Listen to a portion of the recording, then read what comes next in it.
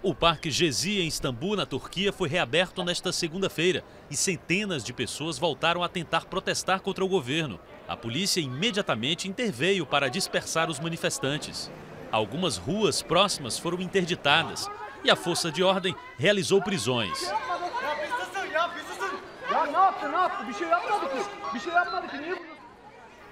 Vizinho à Praça Taksim, o Parque Gezi foi ocupado nas últimas semanas por ativistas contrários a uma reurbanização.